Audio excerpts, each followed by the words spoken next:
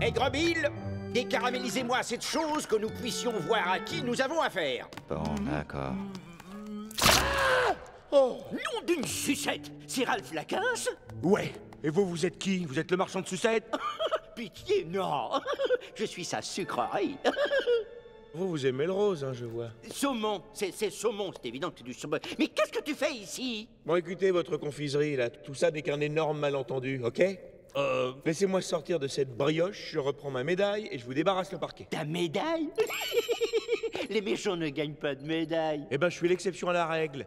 Et je l'ai gagné en jouant au jeu du héros. Tu as déserté ton jeu, Ralph Tu ne serais pas en train de nous la jouer turbo Quoi? Non, non, non, non, non, non. Parce que si tu penses, si tu penses pouvoir débarquer ici, dans mon royaume, et prendre le contrôle de mon jeu, tu fais sucrément fausse route Doucement, votre bouffonnerie. C'est-